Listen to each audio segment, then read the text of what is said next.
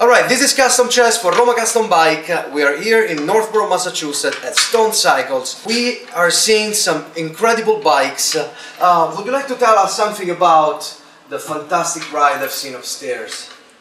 Yeah, that was built as a show bike only, try to win the Rats Hole show.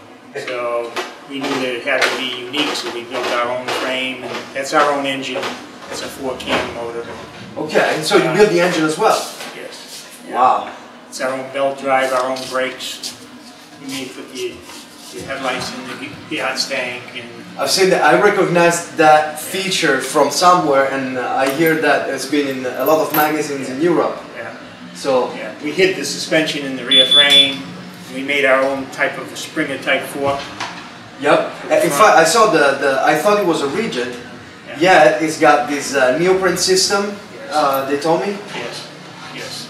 It's So- three, three different types of neoprene, uh, almost like a tube in there, and they're all different values. One is 300 pounds, one is 200.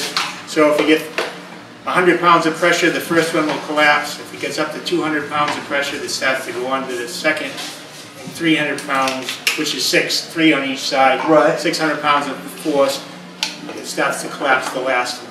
Okay, so, So- you, you get it, it does look like a rigid. Yeah. Yet you've got some sort of shock absorbency and Some. It, it has about an inch and a quarter of travel, okay. the axle. And um, I imagine all the engineering that goes into building that with the with the with the hinge on the bottom and uh, having the, the, the, the piston, let's say, travel straight into the tube must have been uh, quite a headache. Well, I, I come up with the ideas, but I have a friend that's a machinist, Okay. and he's a part-time inventor also, so he helped me out with the, you know, the mechanical drawings and machining to make the things work. I'd come out with the basic idea, and then he would do the fine-tuning on it and help us produce the part. And I'm sure there has been a lot of that because uh, it's uh, seamless, it looks like a rigid. They actually had to point out to me that it wasn't.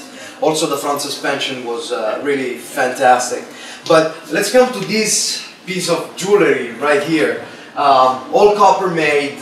Um, you made all this from uh, from scratch. This is one of your frames Yes. um, with the oil running through the actual frame. Um, and right here is where you put your filter, if I'm not wrong. on there, yes. And um, how long did it take you to do tank, the headlight housing, and uh, the fender? It, it took me three weeks. I have people that come into the store and want to talk to me, so I don't work an eight-hour day. Right. But three weeks of work, mostly probably four to five hours every day just to build the tank. Only the tank. Only the tank. Wow. And uh, I made a few mistakes the first time I, I had it all together and I had a, one little spot from where the weld, a little pinhole, Yep. And I tried to repair it the metal moved and it sunk in a little bit and I started to try to sand it out and I sanded through the tank. Wow. So I had to start all over.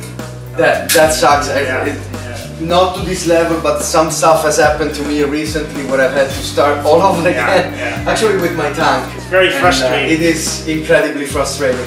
Well, thank you very much. Congratulations on your creation. They're really fantastic, and uh, Nice to meet you. my pleasure. Thank you very much.